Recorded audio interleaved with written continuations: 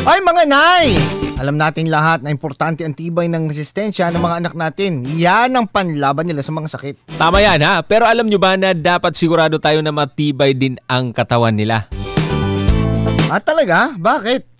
Dahil ang tibay ng katawan ang pundasyon ng tibay ng resistensya. Dapat pala, parehas matibay. Kaya mga nay ha, bigyan natin ng bagong Bear Brand Fortified ang mga anak natin. Ngayon may tulong na doble tibay with proper diet and exercise. May tibay ng resistensya at tibay ng katawan nutrients. May 100% vitamin C na may dagdag 100% vitamin D pa. Kaya mga nay, laging tandaan, matibay ang resistensya kapag matibay ang katawan. Yan ang tulong na do doble tibay mula sa bagong Bear Brand Fortified. Bili nga ng bagong Bear Brand 45 sa mga suking tindahan and grocery stores.